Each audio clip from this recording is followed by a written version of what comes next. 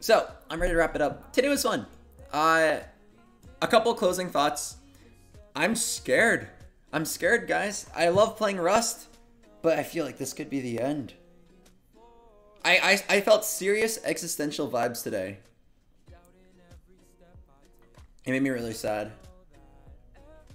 Hearing that three of my favorite people quit makes me really sad.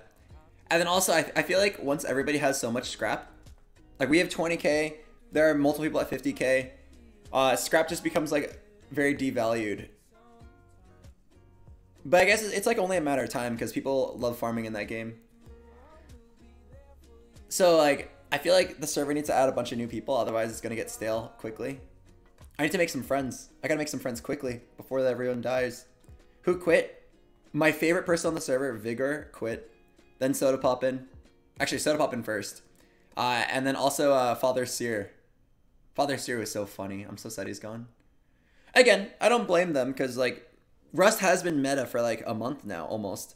I've been I've been streaming like I streamed like 300 hours of Rust in the last 30 days.